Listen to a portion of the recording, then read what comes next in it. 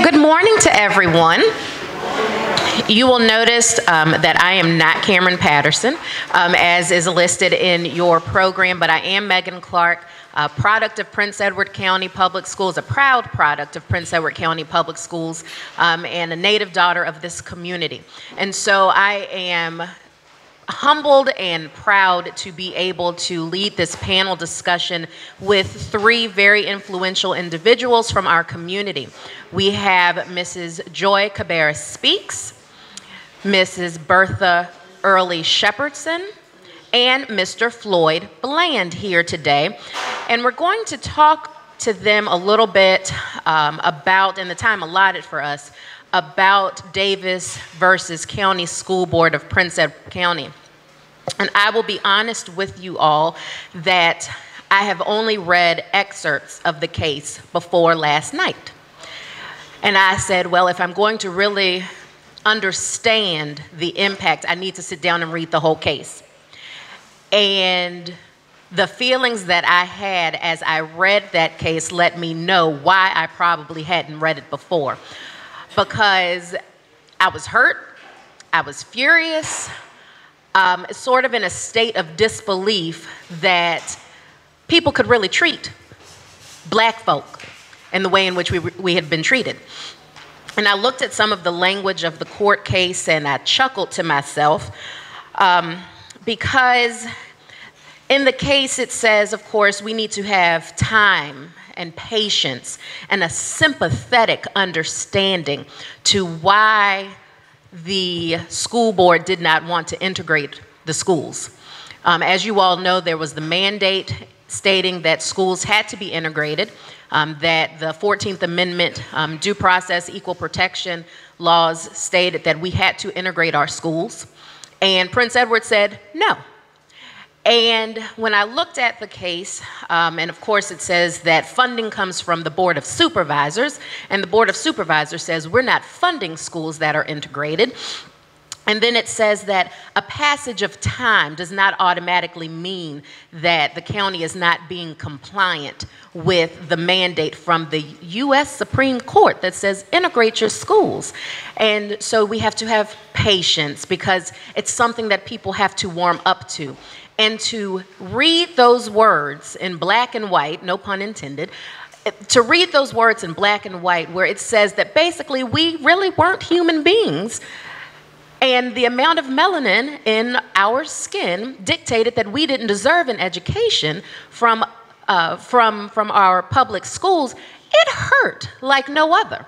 And I didn't live it, these people lived it. And so I want to hear from you all really what it meant to be a named plaintiff in this case. What feelings did you all have and, and your family? And of course, you all were students at the time, and so your family had to back you in this decision. How did your family decide to allow you all to take part um, in a piece of history?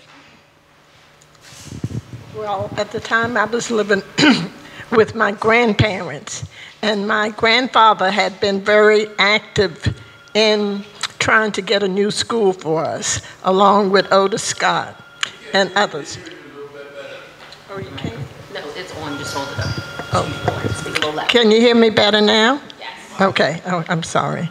Okay, at the time I was living with my grandparents, and my grandfather was very active in trying to get a new school for us because of the deplorable conditions that we were going to school here at R.R. Moton, where we had no cafeteria, we had no science, um, it, we had no um, gym. We didn't have anything that the the white schools had. Plus, we were overcrowded because the school was built for 180 people, and at the time that we went on strike, it was over 400. So when we went on strike that day, and Barbara and Carrie sent a letter to the NAACP. At first, they did not want to take it, but then they accepted um, the letter from her and promised that they would come down later.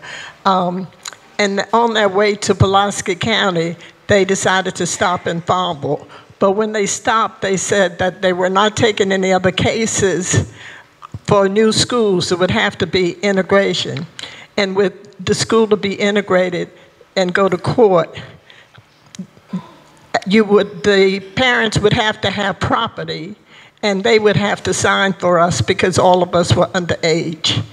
And they decided once we had the mass meeting down at First Baptist Church, the parents decided to sign. My grandmother signed for me. Uh, my grandfather was very proud of it, and he felt that being that they had not accomplished what they were trying to do, that we would be able to do it and they would support us along with Reverend Griffin.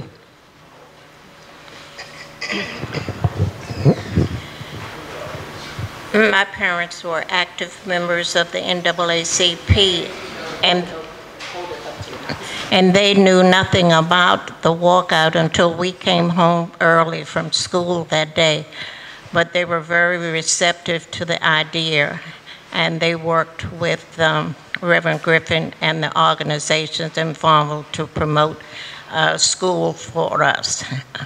At the time the schools closed, I had graduated and I had moved on seeking better employment. But my siblings were involved. You know, something's wrong with that microphone. We can't hear you out here. People can hear you in the back of me. And I'm sitting up front. Can you hear me now? You know, what, what you were doing was fine. But, uh, Their voices are just a little softer than mine, sir. Because You can go ahead. I've moved away from the uh, area and I worked for some years. And upon returning to the area, I went to the employment office to seek employment. And I was told that they asked what jobs I had had in the past, so I informed them. And they told me that the only thing they had to offer me was um, housekeeping and childcare. So I told them that I cleaned one house, and that was my mother's, and I lived there, and she made me. And that's all I was going to clean. So I didn't um, get anything through the employment office, but the principal at the school was on the governor's board of corrections at that time, and they were in the process of promoting minorities for those positions. And I interviewed, and that's where I went to work. Excuse me. And I worked there for, I retired with 30 years service, and that was the only job that I had in this area.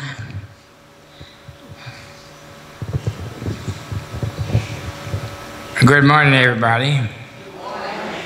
We had been planning this walkout for some time.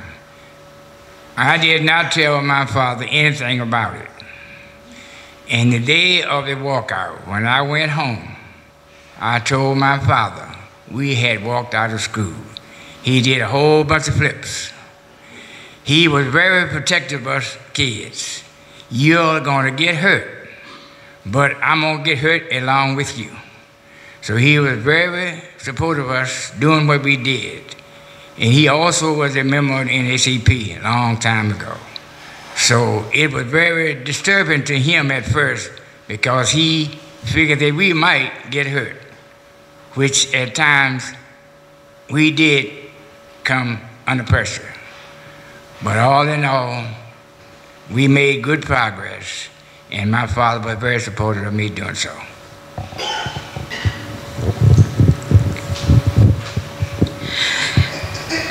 Mr. Bland, you mentioned that um, at times you all came under pressure. So I imagine that when you all heard that schools had to be integrated, you felt excited. Tell us a little bit about, and, and trying to get the feeling for the community um, at the time that the mandate came that schools had to be integrated. tell us a little bit about what the feelings were like in the community from non blacks when that happened, because clearly it didn't happen the way that we all envisioned it should happen. Well, when we did walk out, those it was it's been uh, 68 years since we walked out those back steps right there.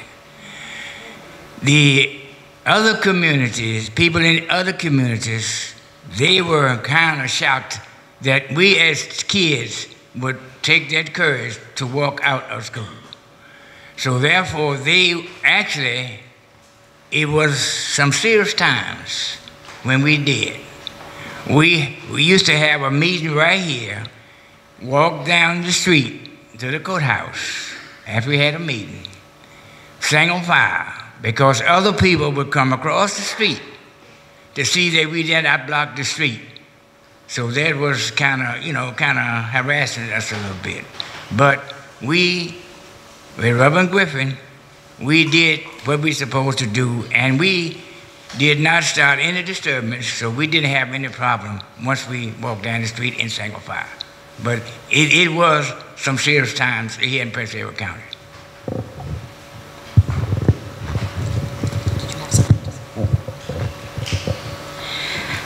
And were any of you all, um, Ms. Shepperson, I know you said that you finished school and you moved away by the times the schools reopened.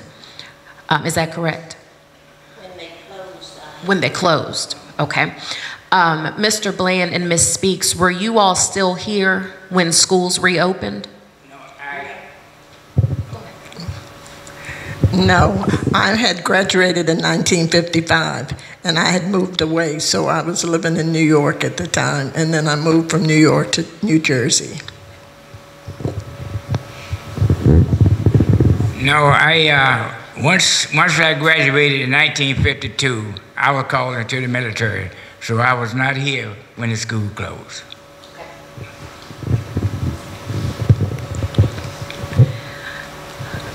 Of course, you all have all moved back here now. And so I want to know a little bit about what made you all come back to the area. Um, and if you were able to see a change when you came back.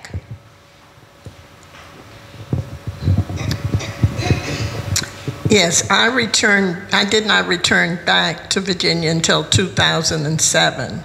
So naturally, I did see a change that had been made and some progress that had been made. And also that um, a lot of the people within the community were trying to be more, um, they, they wanted to show that they were sorry for what they had done. That was some of them, but some people still felt the same way that they did in 1951 and in 1959 when they closed the schools.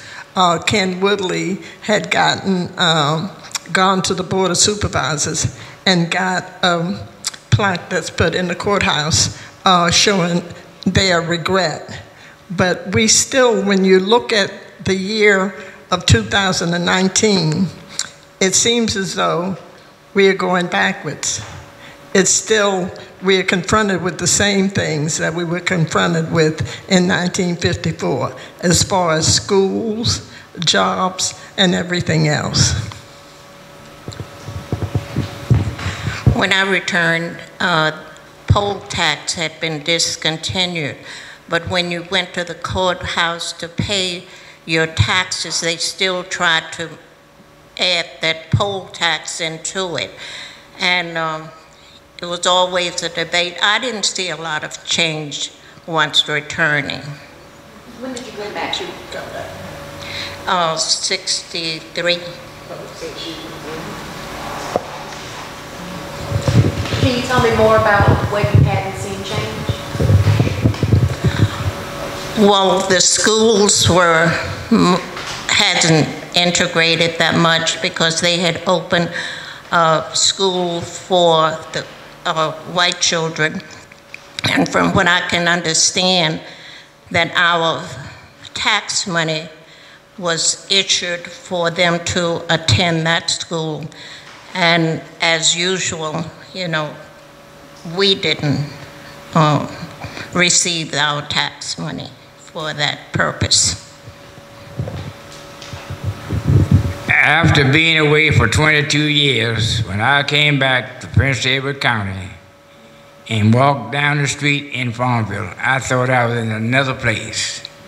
Everything had changed. The things I couldn't do when I left, I could do when I came back. So it was surprising to see how one county could change overnight. I mean, I'm saying overnight. It didn't change overnight, but it changed. So, and I was very, very happy to see that. You know. Ms. Clark, just one moment. A Toyota vehicle with Virginia license plate VST6335 is blocking the caterer's truck. If it's yours, would you please remove? When did he return? Twenty-two years. So 22 years from the time of the.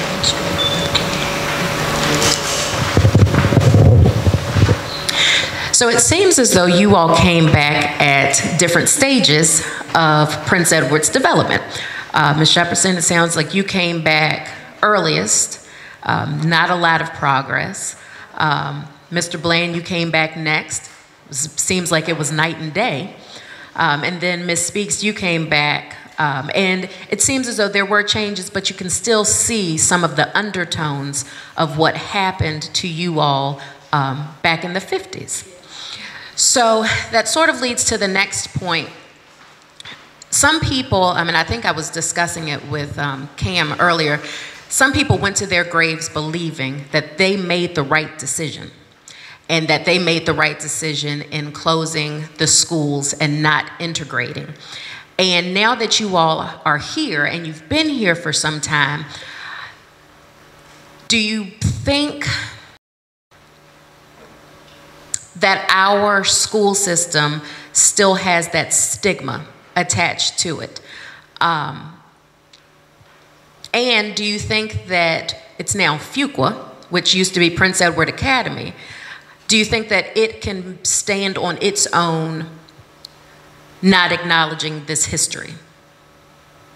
Do you think that the schools have progressed in a way in which the history is there, and we recognize that that history is there, but that they are now separate and apart from that history? Uh, well, as far as Fuqua, the school, Fuqua School, a lot of the students come to the museum and they try to relate and understand what happened in 1951, 1959, and why it happened. And even when we went into the case of the Brown versus the Board of Education, when they went into the five cases, um, Robert R. Moton being um, student-led, we had more plaintiffs than anyone else in the case because we had 177 plaintiffs, where others had five or whatever. So um, they they understand what we did and why we did it. So I think more people are becoming um, more aware and want to learn more about it. And I think that a lot of them want to try to prevent it from happening going forward. But you still can find some of the stigma still, even in Prince Edward High School, as far as the gifted and special needs and everything. You still see there's um, some segregation when it comes to that. I see the two schools as being two separate entities altogether, because if it wasn't for the fact that they could get tax breaks, they would not be the way that it is today. When, okay, when I first came back, it was still some thinking that we should be separated. It was that. There's one organization that I know of. When I came back to join that organization, they wanted to recommend to me to another organization, which all was the same thing. So they were still trying to separate people from different people. So that's one change that they hadn't changed. And you can see it right today. It still hadn't changed.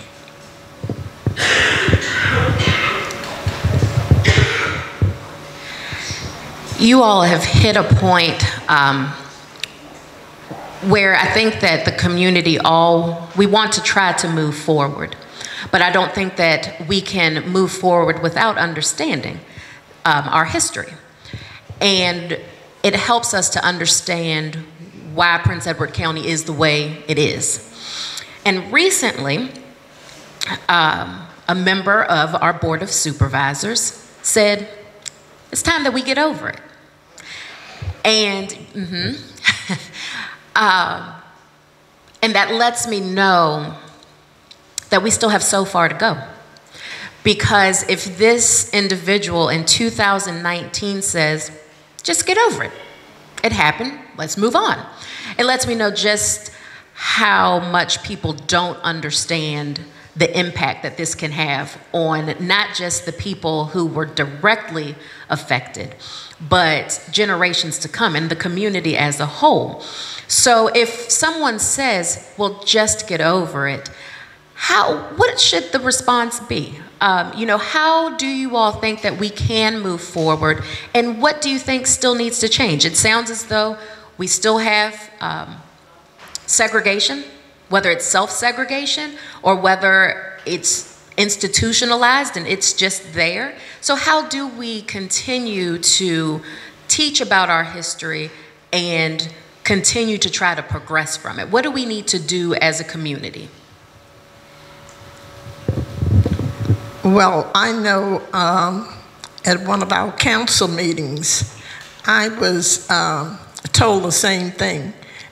You should just get over it and move on. And I explained to that individual that you can't forget about it. It happened, it's always going to be there. You are saying to get over it because you have not experienced what we have experienced. You haven't been hurt the way that we've hurt, and you haven't been neglected the way we have. So we can't just move on and forget about it. We can try to move forward and make things better, but we will not forget.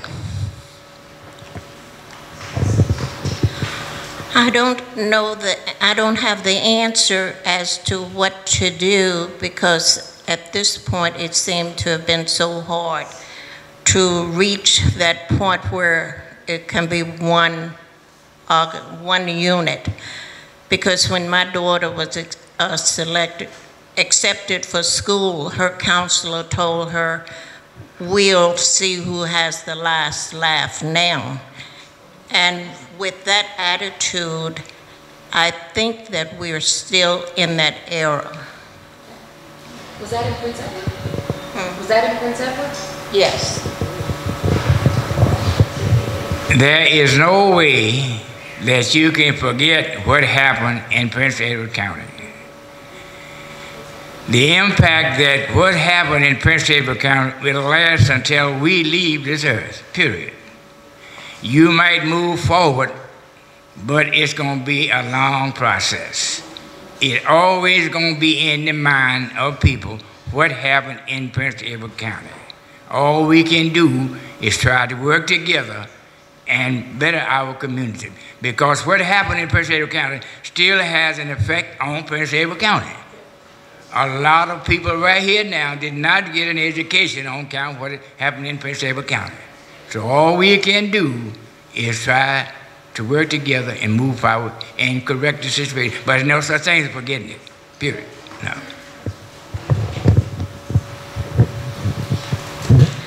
I think that a part of not forgetting, because I absolutely agree, you, it's, you can't forget it. it you just can't. Um, and it's not something that you just get over. Um, part of it is that I think we all need to be more educated about what took place. Um, I have a friend who is an adult in her 30s, and she went to Fuqua. And she did not learn about what happened in her own home until she went to VCU and took a class, and they discussed Prince Edward County in that class. And she became physically ill and had to leave um, her class because, of course, she was overcome with emotions about what took place here, but also that it had never been discussed among her classmates, among her family. Um, and so she was a bit taken aback that she could live here and be so ignorant on that particular topic. Um, and so, in looking at things, um, did you all ever,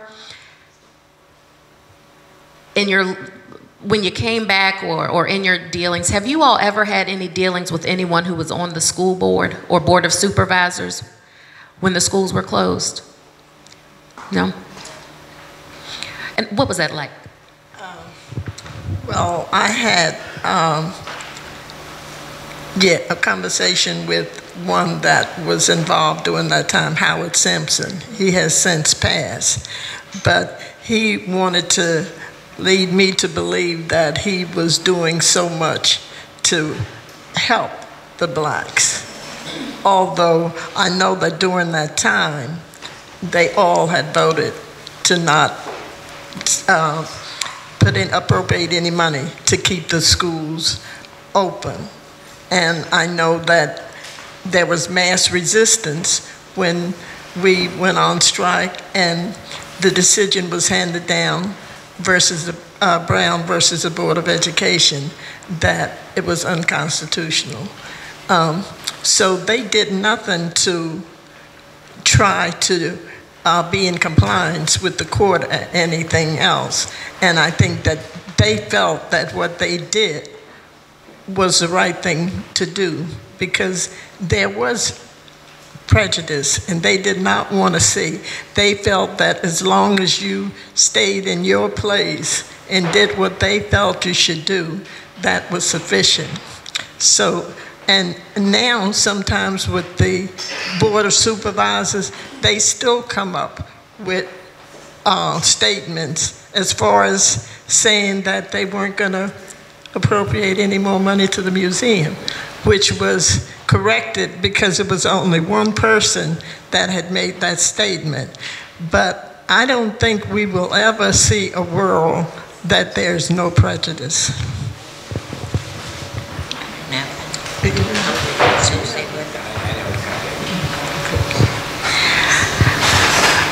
Unfortunately, I think you're right. Um, and unfortunately, I think that our color, the color of our skin, will always matter. And I've come to accept it. Um, I do not like it, but I have come to accept it, and I realize that I have to work. Um, I have to work differently because of this. And I can't really put into words the feelings that I have that our county, the county in which I sit, the county in which I serve, thought that the white students were going to be, I mean, it was almost as if they thought that we were going to kill them, that we were these animals, these savages, that there was nothing that we could ever offer to education um, and into the educational process um, other than just things that just repulsed them. And to think that they thought that about us blows my mind. Um, and I, I, will leave it at that. But do we have any questions from any members of the audience about for our panelists um, or about the Davis decision? Yes, sir. I often wonder if we're doing enough. Uh, you know, one of, the, one of the questions I had uh, during the tour was, uh, should we insist or should we talk more about making it mandatory that children in the counties that were affected know this history? Can everyone hear? This, this, this, this museum. And sir, what's your name? I'm sorry, Mr. Turner. Dr. Turner. Turner, I'm sorry. Um, I don't know if everyone could hear, but it's should we make this mandatory that people, especially in the counties that were affected, learn about this history? Um, I, I, will let our panelists answer, but I think absolutely. And I think that we um, have done some of that legwork, and I think that probably Canaan is in the best position because it's on the Virginia Standards of Learning. You know, I, I don't, I don't know whether we're doing it good because this is a sickness. It's a sickness. And I don't, I don't know whether it's fatal or not, but it, it, it appears to be fatal. But I, I, I still think we should try to do a little bit more, even through this fatal attraction. I really do feel that, that, that, is fatal.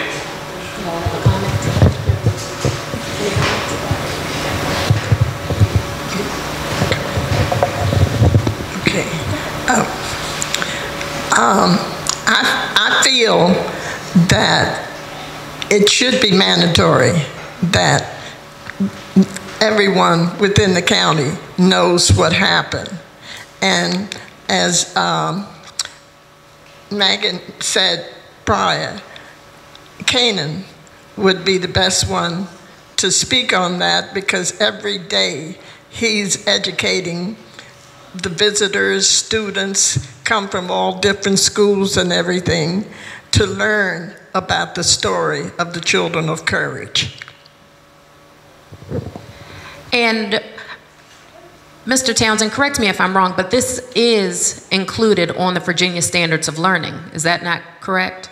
Yes, fourth and eleventh grade. Okay, so fourth and 11th grade, I don't know um, who lives in Virginia anymore and who doesn't, but all public schools have um, standardized testing, and that's the Virginia SOLs, the Standards of Learning tests. And it is fairly new, but Brown v. Board, the story of Barbara Johns is included on those SOLs now. So that is a step. It may not be where we ultimately need to be, but it's a step in the right direction. Yes, sir, in the back. Uh, when those of you that left Prince Edward County to go to, after you graduated, or after you left school, did you find school districts anywhere else any different? And did you find any social settings anywhere else for African Americans, uh, any different? So the question for our panelists is, did you find things different when you left in terms of, um, you said social settings? Um, and as well as with school systems and in your dealings when you moved away, were things different from Prince Edward?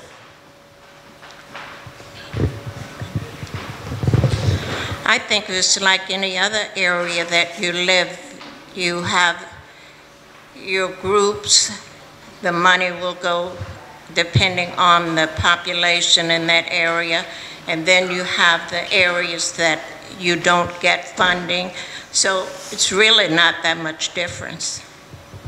Were schools integrated where you were? They were, but it was mostly according to the neighborhoods. You said nothing. So I'm hearing that race relations may not have been all that different where you were. Um, and even though schools were to be integrated, schools um, were based on neighborhood. And so if you lived in a black neighborhood, you went to school with others who looked like you. Okay. Was there another question? Yes, ma'am. My name is Yolanda Baker Glad. Um, I'm just interjecting as a statement. If we are not, I'll say as a people, especially the black um, nationality, if we're not interested in education, we'll never really know what the effects of all of versus Board and everything that happened in our community and spread out into other communities. I have a granddaughter that's now in the 10th grade and um, Florida, West Palm Beach, Florida. And in her seventh grade civics um, session, she, it came up the subject of Brown versus Board of Education. And Zamari was the teacher for it. And they were so amazed to see a young lady that it affected her grandmommy and her great grandmother to be able to stand up to tell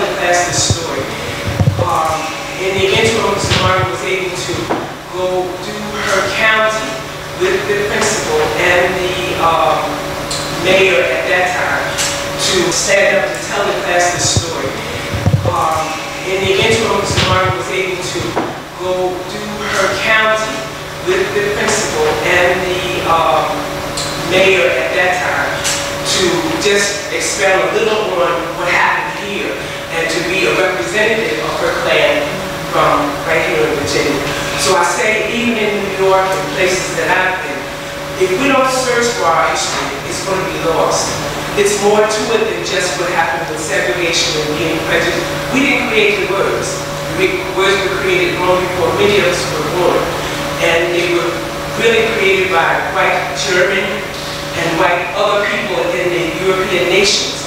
And so if you're not searching for your history, you won't know about it. You, you won't really get the different societies. Like I was just listening to PBS the other evening, and according to um, what's um, Mitt Romney and Trump and some of these other guys, judges that are on the Supreme Court, they are in what's known as the, the um, socialist society.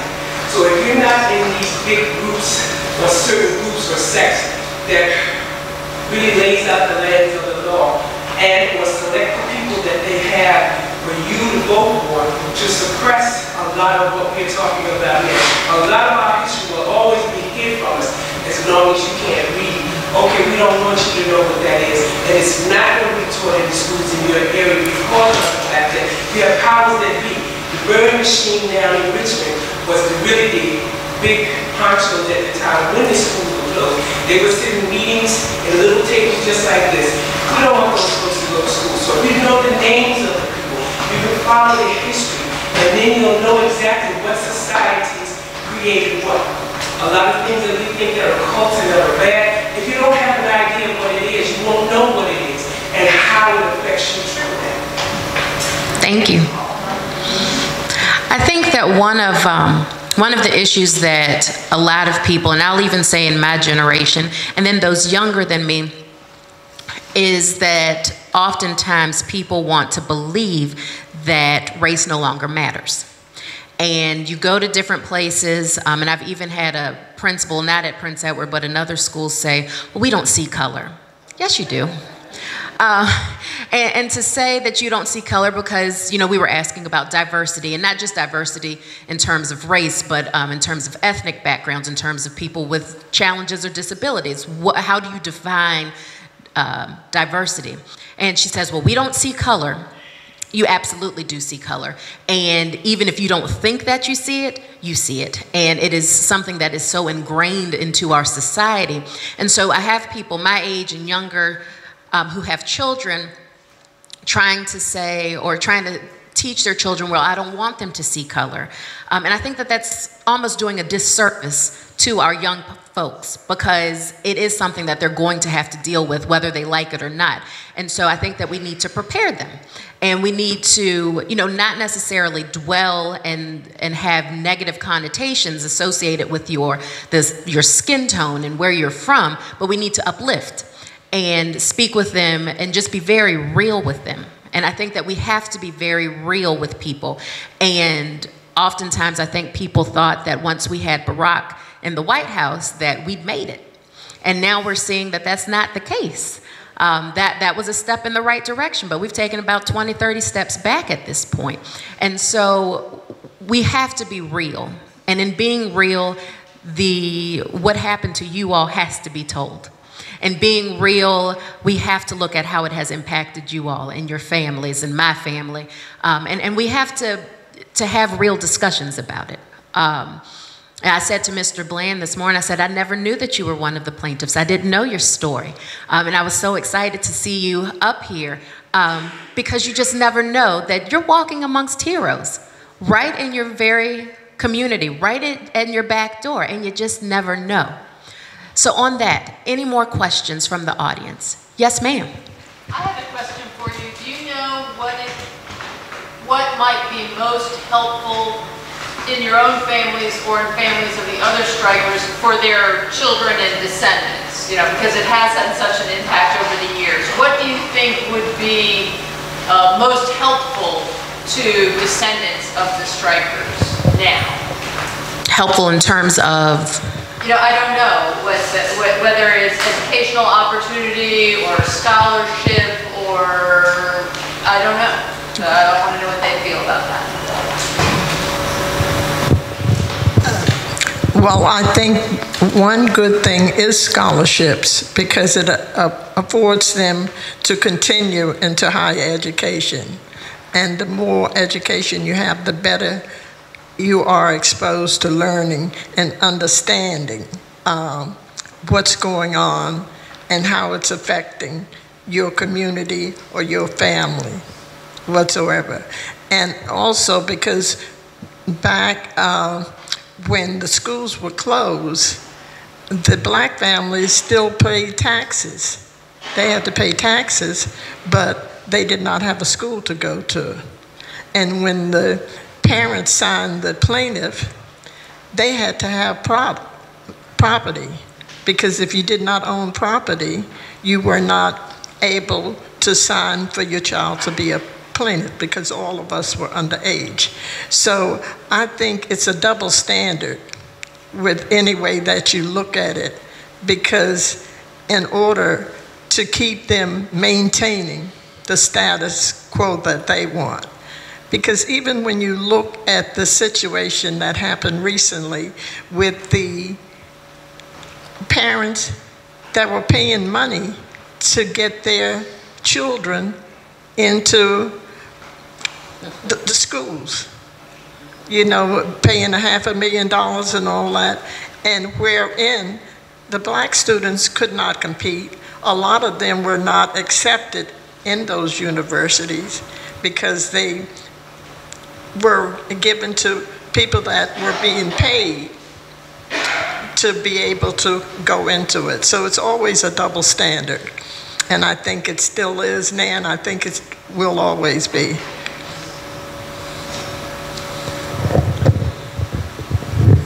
There is a program in progress, a scholarship program, to help those students that were affected by the school closing.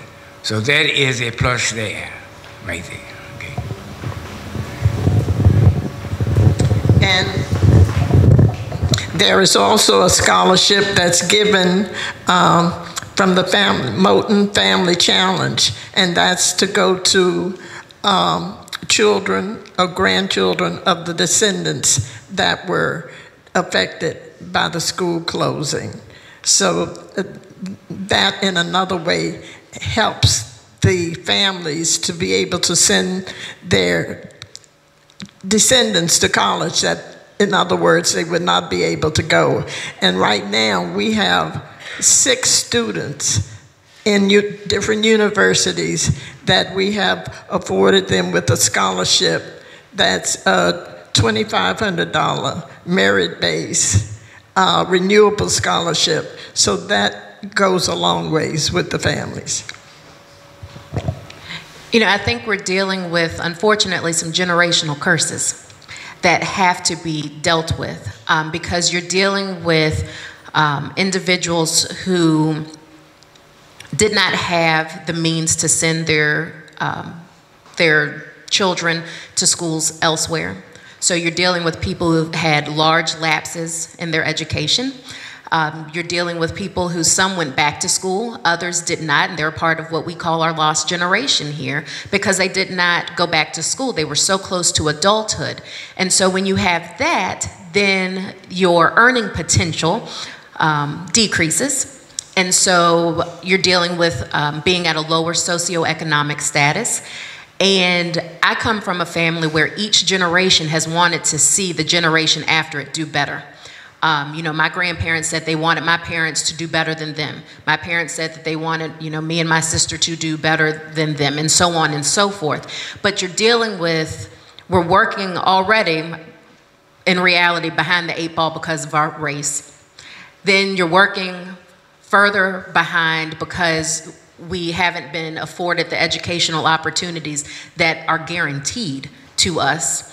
And so we've had to continue to, to try to break those chains that have held our families for so long because the opportunities were not here for us.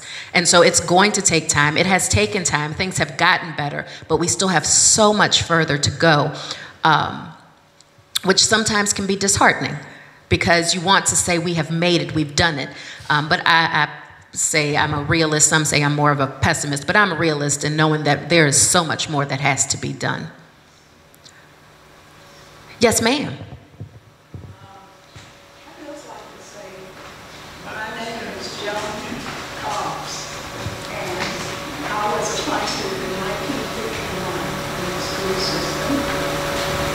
I just want to say that those panelists who said that we should get over it, I can tell you, we will never get over it. There was a lot of hurt, a lot of bitterness, and it's taken me years and a lot of prayer to get, to try to come to terms with what happened. And it happened to be my sister, Barbara Rose Johns, that started this in 1951. And I have lived to see a lot of change as far as for her, because now in Farmville, they have the Farmville Library named after her. They have the statue in Richmond of the Catholic Women. And also there's a Farmville Day.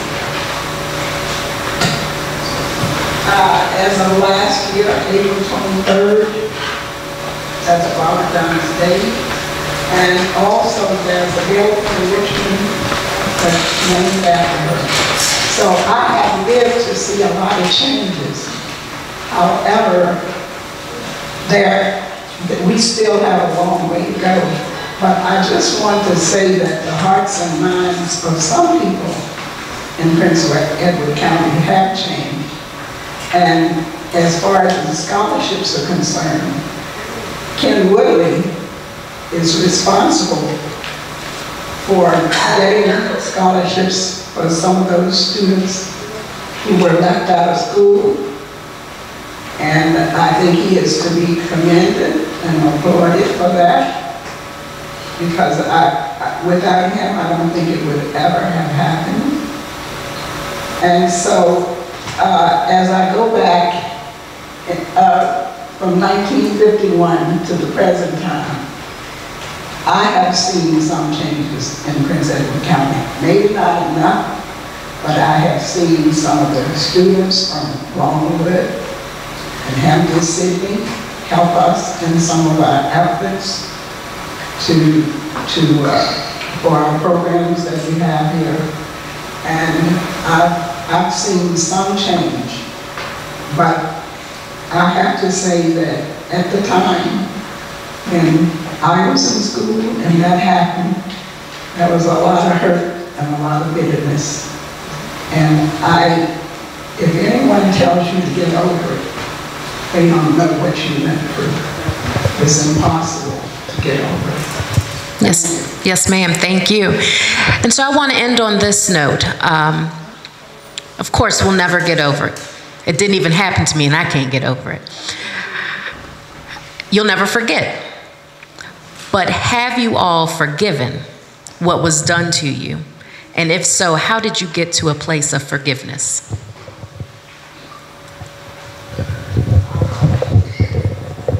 I got to a place of forgiveness because I feel that as long as you go through the world day by day, hating, uh, you will not be comfortable yourself.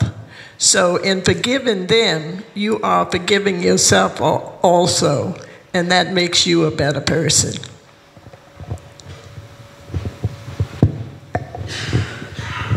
Well, okay, it's it's no forgiveness actually. People apologize. There's no such thing as apologizing. There's just an excuse to cover up. I must say, what we did here in 1951 did not only affect the students, it affected our parents also.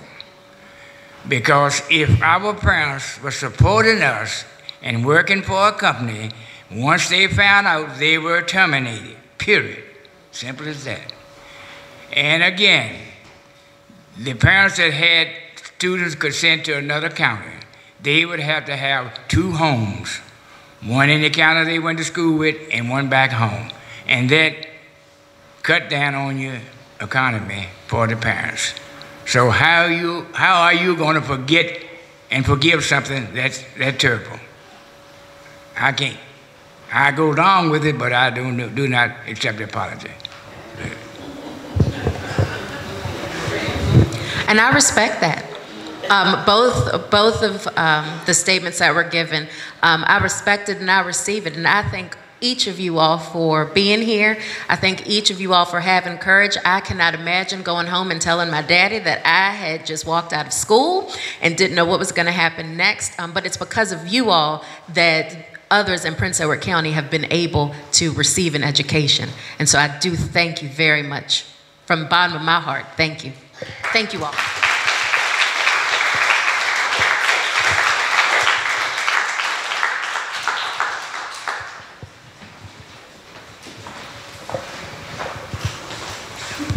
Thank you, Ms. Clark. Thank you, panelists. We indeed want to thank all of you for being out with us this morning. Our thought behind this panel was to get comments from people who had actually been named plaintiffs in Brown to see how Brown affected them, to see how they reacted to the reactions of the county to Brown, to see how in their mind's eye they ever dreamed that the county would ever close its public schools as a result. A lot of that accomplished today because once you set things in motion, other things do happen. Things that you might not have even anticipated, things that you might not have even dreamed of happen. I am appreciative of all of them. When I called Brother Bland, he was excited about coming.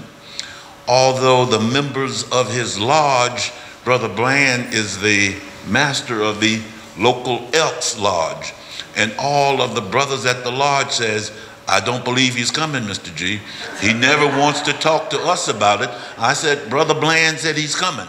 And it's amazing that after all of those things that he's been through, he is still a exemplar in the community. Master of the Elks Lodge has put in his time and still speaks highly of the experience and exposure that he has gone through. We have known Miss Shepperson for a long time, but Miss Shepperson has always been quiet, not wanting to speak up, not wanting to be out front. And yet, every Democratic committee meeting or NAACP meeting, Ms. Shepperson is there as their supporter, as the person being committed, but not wanting to be out front. Now, we knew Ms. Speaks was out front all the time, everywhere, and it's helpful to have at least one vocal person among the panelists. We indeed do appreciate all that they have done this morning. You know, it takes courage sometimes to come forward to talk about something that you think is embarrassing. Okay? And as a result of closing of public schools, a lot of people affected by it might have been embarrassing to come out to speak on it. We're going to continue, though, today with a luncheon speaker right here. That luncheon speaker is going to focus on the reaction of the Commonwealth to Brown. What did the Commonwealth do as a result of the Brown decision? And we think that's going to be quite an interesting discussion. Our speaker is going to be a professor from Longwood, and hopefully all of you will stay with us for that. This afternoon, we're going to have a panel on people who were directly, directly affected by the closing of public schools. People who either didn't go to school or left the community or moved other places and what their life was like during that period of time and how they have overcome that and what they are now doing as positive commitment to their community. This evening, we're going to have dinner over at the Nance Room at the Dorrill Dining Hall on Longwood. And at that time, we're going to have a discussion on Griffin versus County School Board of Prince Edward County. Griffin was handed down May 25th, 1964, in which the United States Supreme Court said, if public schools do not operate in Prince Edward, they, can, op- they cannot operate anywhere in the Commonwealth of Virginia. Because not providing public education for students in Prince Edward was a denial of their equal protection of the law. And we're going to have a discussion on that. Hopefully, we'll have some of the plaintiffs in Griffin involved in that. I know we're going to have Ms. Eva Bland there.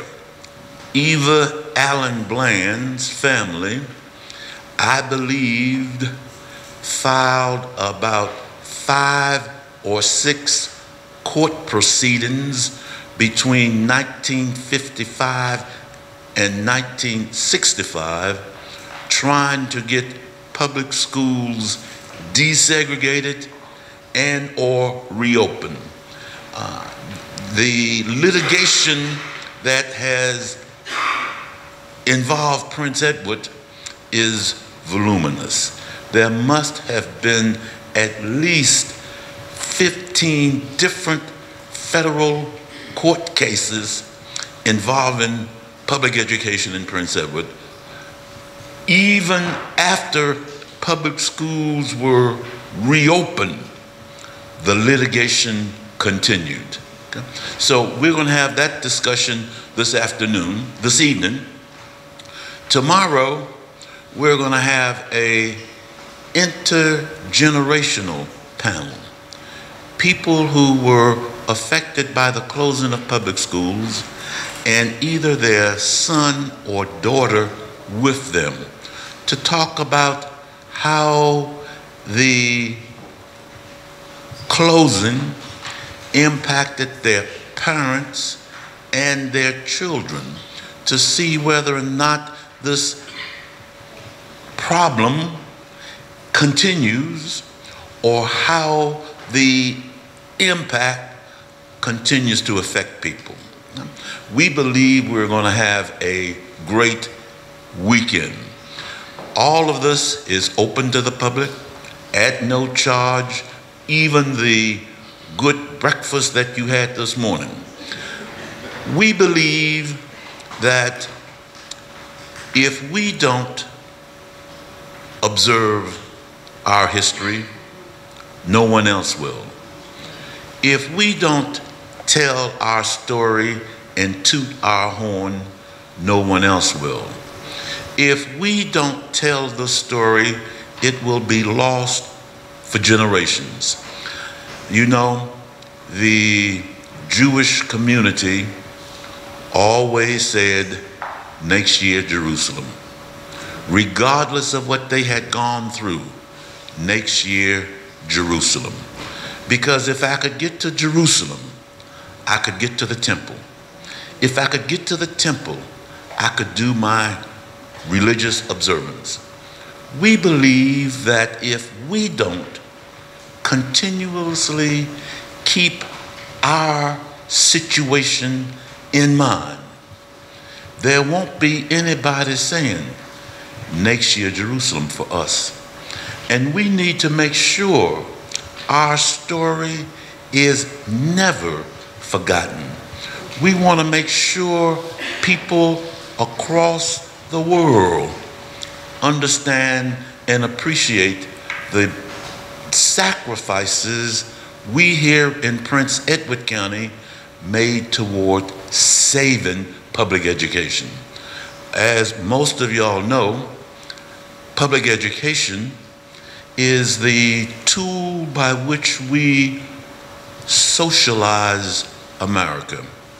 There is the idea by people going to public schools, regardless of their religion, their sex, their race, their nationality, they become part of the melting pot. And public education is used for that socialization process. What a difference it would be in our world today if we did not have that public education. As bad as it may be in some places, as horrible as we don't think it's doing its job, it's still the tool which provides us the glue to make us Americans.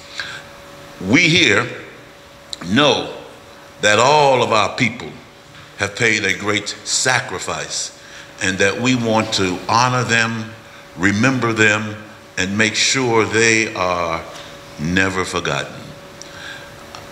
As a result thereof, we've put this observance together for the weekend.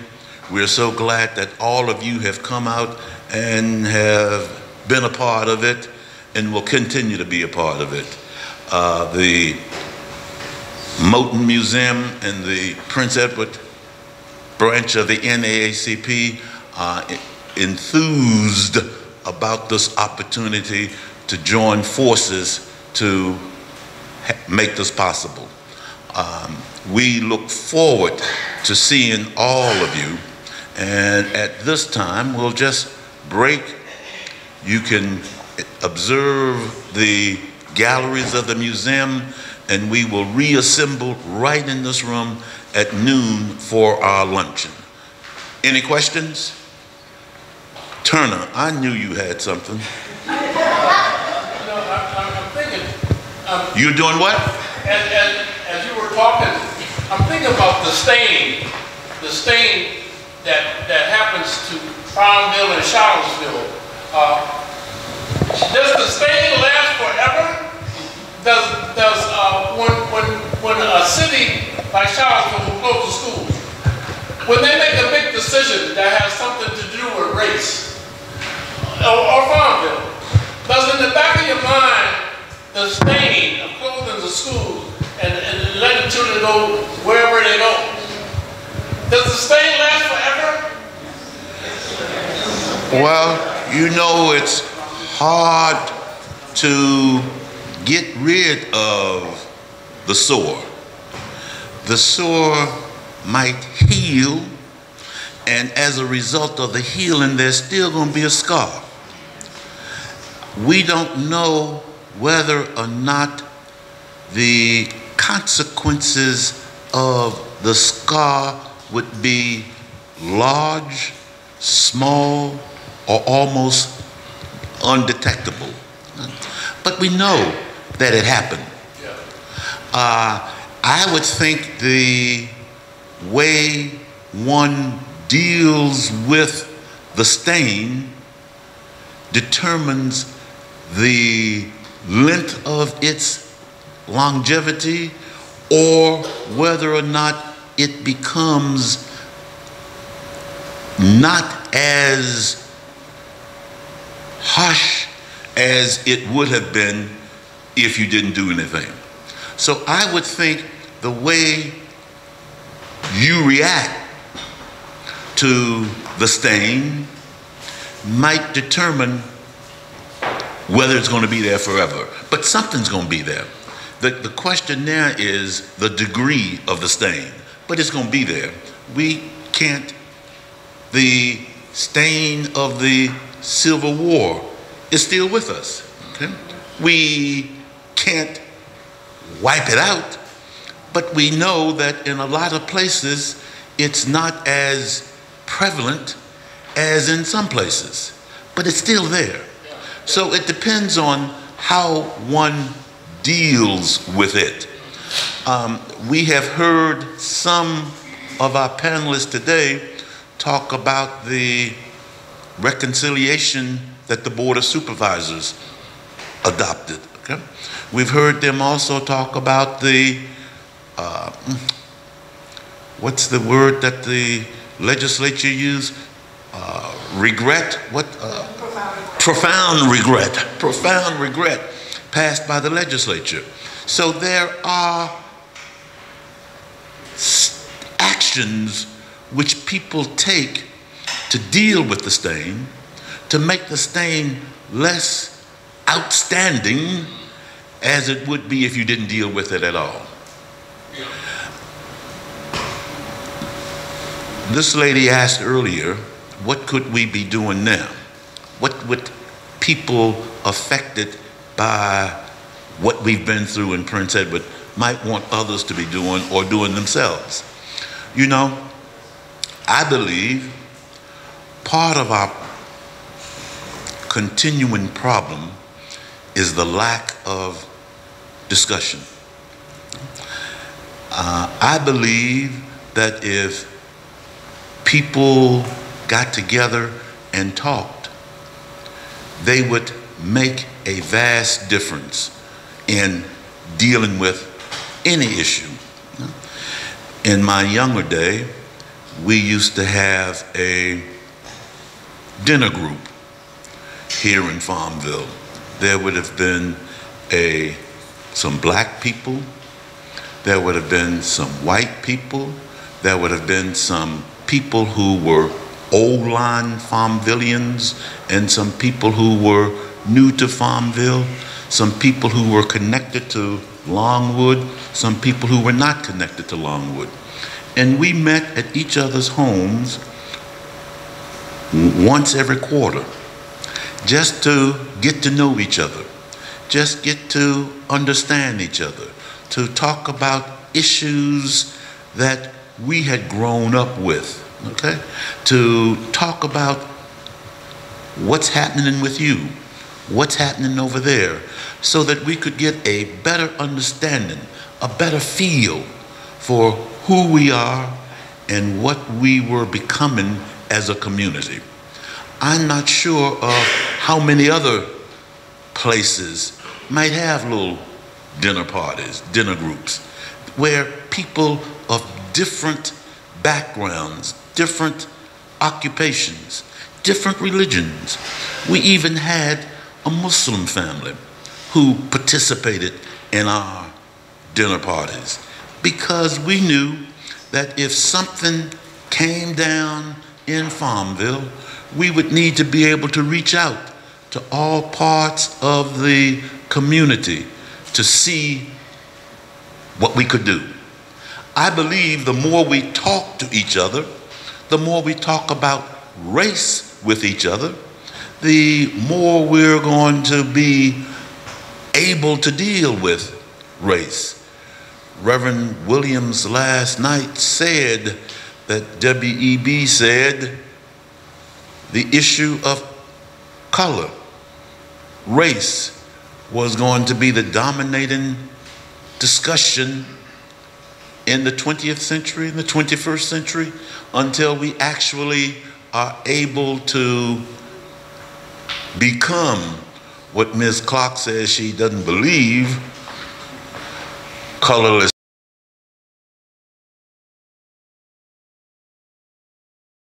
Society.